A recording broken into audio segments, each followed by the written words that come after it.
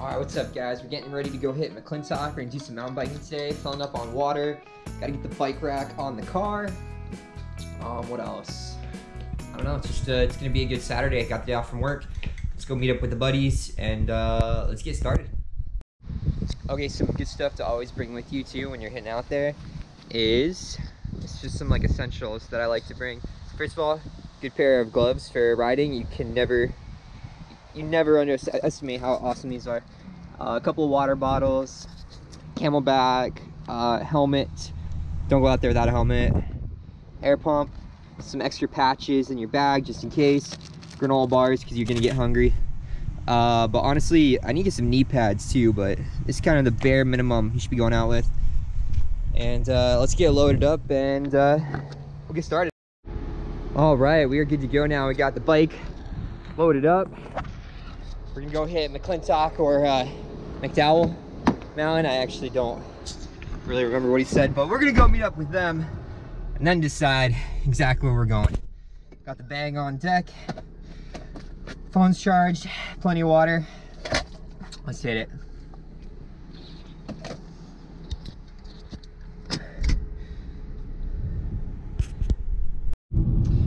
All right we got the guys up there and i think it's kind of funny that ironic moment when the uh, bicycles mountain bikes on the back of the uh, car uh, it costs more than the actual car does but you know what? That's the way. That's the mtb life right there honestly. Uh, we're gonna jump on this freeway go up to the mountain and uh, yeah hit some trails. It's a beautiful uh, about 72 out today. It's gorgeous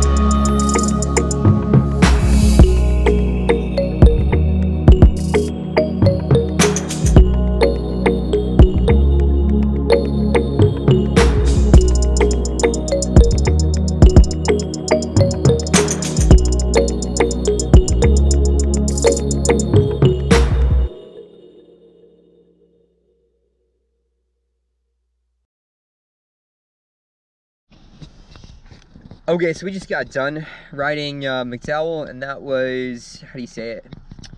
That was crazy, okay? It was just like giant, sharp rocks the whole way.